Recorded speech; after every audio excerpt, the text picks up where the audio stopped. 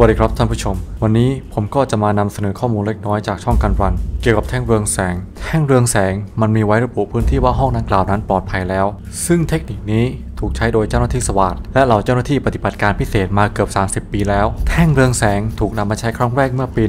1990 การใช้เทคนิคนี้อาจยังไม่ปลอดภัย 100%ในสถานการณ์จริงที่อยู่ในช่วงกดดัน เจ้าหน้าที่อาจจะลืมที่จะวางแท่งเรืองแสง พื่อบอกสัญญาณให้รู้ว่าห้องนี้ปลอดภัยแล้ว บางสถานการณ์ผู้ร้ายอาจจะเข้าตลบหลังเจ้าหน้าที่ ด้วยการแอบเข้าไปในพื้นที่ปลอดภัยที่เจ้าหน้าที่ได้วางแท่งเรืองแสงไว้ โดยที่ผู้ร้ายไม่แตะต้องแท่งเรืองแสงที่วางไว้ เพื่อหลอกให้เจ้าหน้าที่คิดว่าพื้นที่นี้ปลอดภัยแล้วหลักการแก้ไขของเจ้าหน้าที่อเมริกาก็คือ re-clearing room อีกครั้งหนึ่งครับ